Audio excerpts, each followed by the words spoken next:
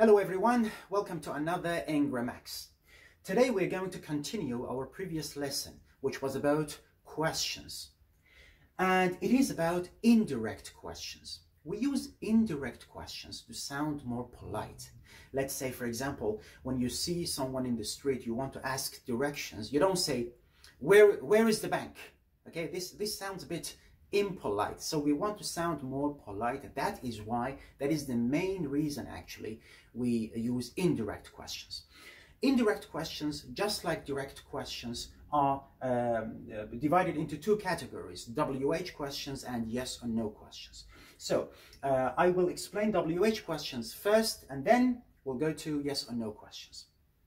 These are three examples of direct questions and then indirect questions.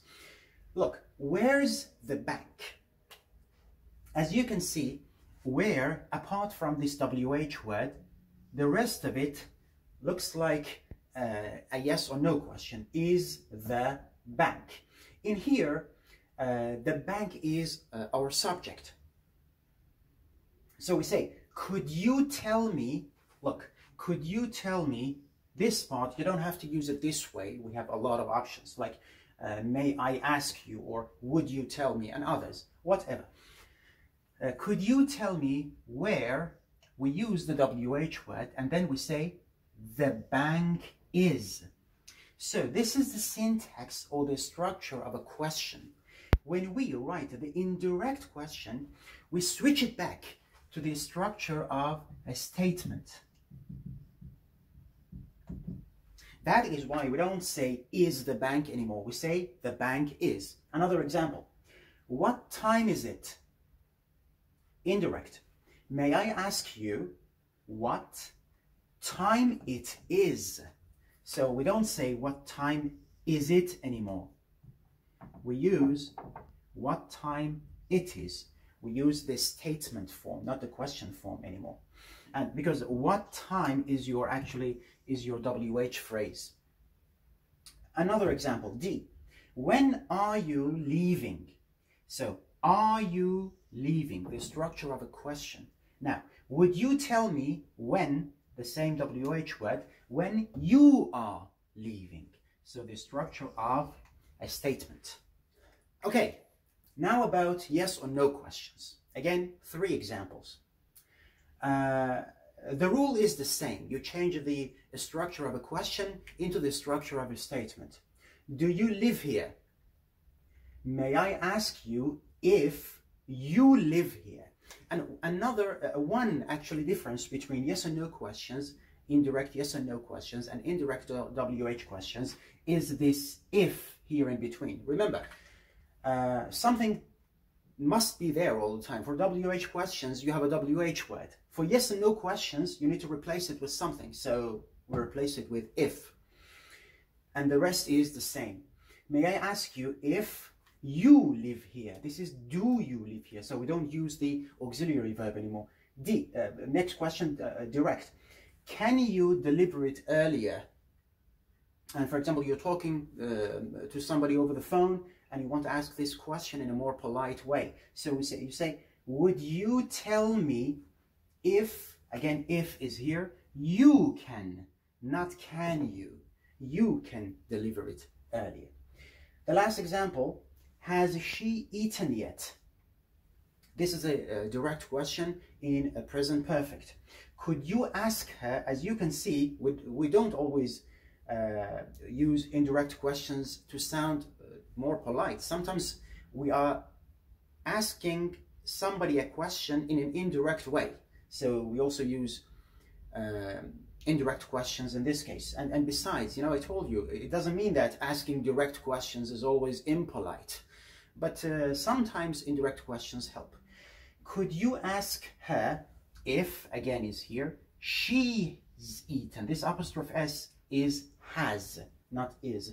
If she's eaten yet or she is eaten. This is has she, this is she has.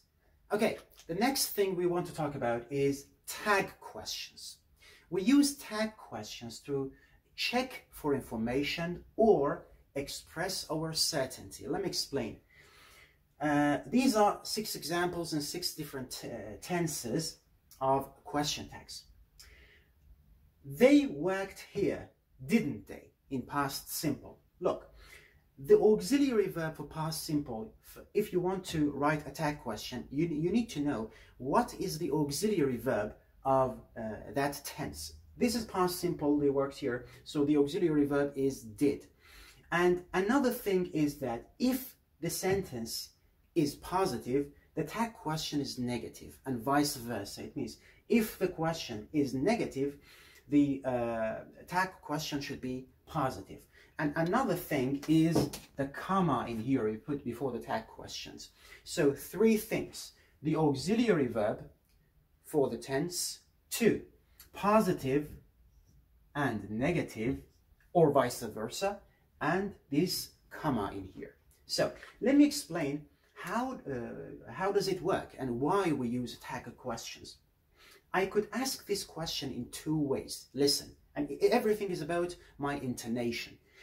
They worked here, didn't they? It, I, I didn't use the tone of a question. I used the tone of a statement. Uh, they worked here, didn't they?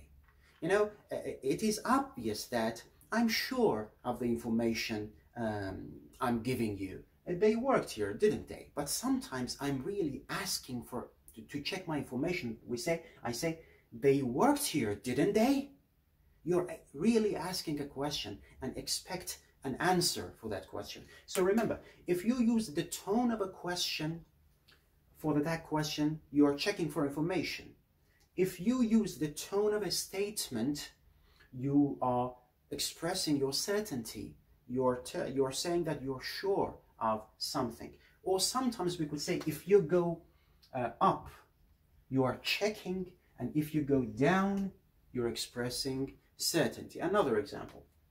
He was running, uh, past continuous. The auxiliary verb is was, and the sentence is positive, so the tag question is negative, with the same auxiliary verb, and the comma is always here. So, he was running, wasn't he? Or you could say, he was running, wasn't he? It means I know he was running. I don't expect an answer, but he was running, wasn't he? You're expecting an answer. Past perfect. We told her, hadn't we? Had, positive, negative, comma. And again, we told her, hadn't we? It means, of course we had told her. Or we told her, hadn't we? I'm checking uh, uh, the information. Present simple. You live here, don't you? Do. Present simple. Auxiliary verb. Positive, negative, comma. You live here, don't you? You live here, don't you? Present continuous. She's coming. Auxiliary verb is. Positive, negative, comma. She's coming, isn't she? She's coming, isn't she? Uh, and uh, present perfect, uh, we say, I've helped, have, have, positive, negative, comma. I've helped, haven't I? I've helped, haven't I? Okay, we have some special cases for tag questions when it comes to uh, I am, when, you uh, when you use I and am as your auxiliary verb. I'm your teacher. In this case, we say aren't I, so we cannot say am, amn't, or am not I. It's not possible.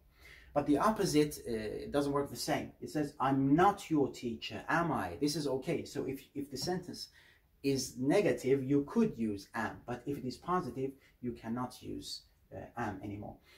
And in the case of an imperative sentence, we say, sit down, will you? we could use will you or won't you because this is imperative. We could use the positive form or negative form or have a seat won't you? Or sit down will you?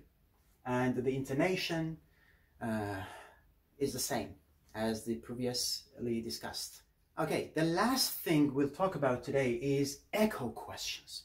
We use echo questions again to check the information we are receiving or to express our surprise Listen, I want uh, you not to confuse echo questions with tag questions.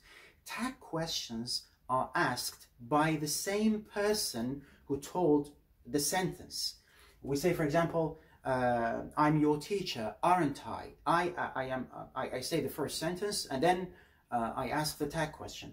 But when, when we are talking about echo questions, we're talking about two people. So the first one says something, the other person uh, uses the echo question to, to check for information or express surprise. Another difference uh, between a tag question and an echo question is that this is, if this is negative, this is negative too, so they shouldn't be opposite each other. If it is positive, this is positive. If this is negative, this is negative. Yeah, this I've never, I know the, the look of it is a positive sentence, but because of never, it is considered a negative sentence. Uh, haven't, for example, we say, I've never been to London. Again, the same rule about using the same auxiliary verb uh, for the tense. I, I have never been to London, haven't you? And again, this is, if you go up, you are checking for information. If you go down, or for example, if you say it like a statement, it means you're expressing your surprise. Listen, I've never been to London. Haven't you? You're, you're really asking.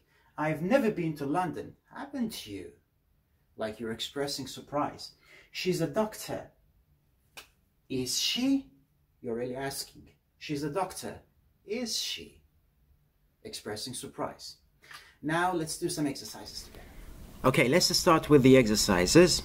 Uh, the first one, add a reply or echo question to each sentence. Another name for echo questions is uh, reply questions. A. We've got a test tomorrow. And remember, if um, the sentence is positive, the echo question should be positive too. So, uh, have we? We've got a, a test tomorrow. Have we? Again, uh, one part, one person says a sentence and another person replies with the echo question. B. I don't understand this sentence. Don't you? Because this is negative, we use the negative question. And again, the meaning of the echo question depends on your intonation. If you go up, if your intonation goes up, it means you are really asking. If it goes down, it means you're just expressing your surprise. For example, B, I don't understand this sentence. If you're if you really want to ask, you say, don't you? And if you want to express your surprise, say, don't you? C, Fiona phoned me last night. We say, did she? D. I don't like ice cream. Don't you? We use the same auxiliary verb. E. Tom is leaving tomorrow. Is he? F. There is a policeman at the door. Is there? Because your uh, your subject is there in here. Uh, G. Lisa has just had a baby has she, because your auxiliary verb is has here. H. I haven't eaten Chinese food. Haven't you? Because the sentence is negative, our echo question is also negative. I. There isn't any milk in the fridge. Isn't there? Again, because your subject is there. J. I met David in France. Past simple, so did you? The next exercise, add a tag question to each sentence. Again, tag questions are uh, asked by the same person who is saying uh, the preceding sentence before that. Number one, we are nearly there, aren't we? Again, tag, in tag questions, opposite echo questions, if your sentence is positive, your, your tag question is negative and vice versa. And uh, the rules for intonation is the same here. If you go up, you are really asking.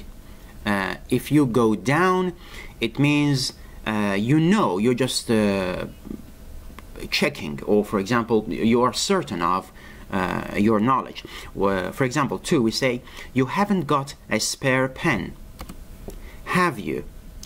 Uh, if you know that person doesn't have a spare pen, you say you haven't got a you haven't got a spare pen, have you? But if you if you are really asking, you say you haven't got a spare pen, have you? Three, you're coming to my party, aren't you? Or aren't you? Four, you won't be late, will you? Or will you?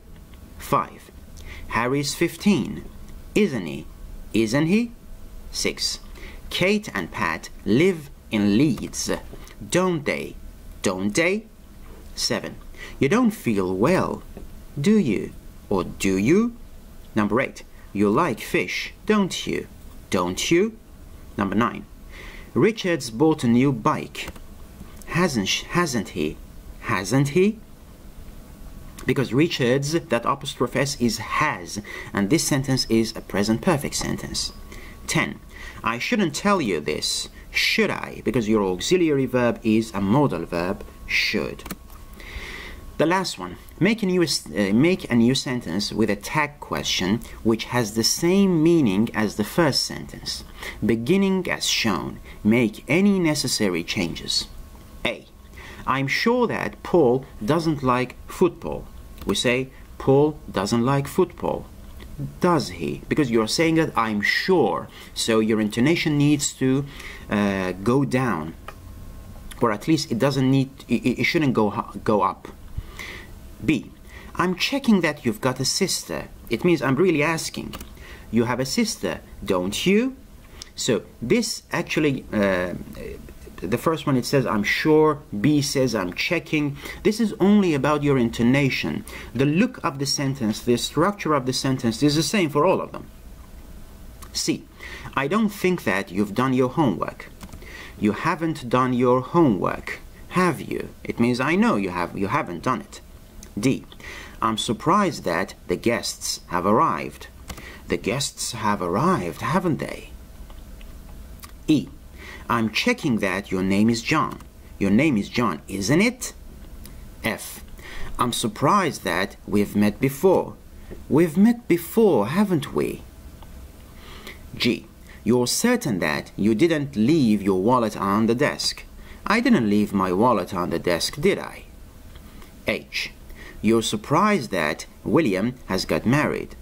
William has got married, hasn't he? Or hasn't he, if you're really asking? I.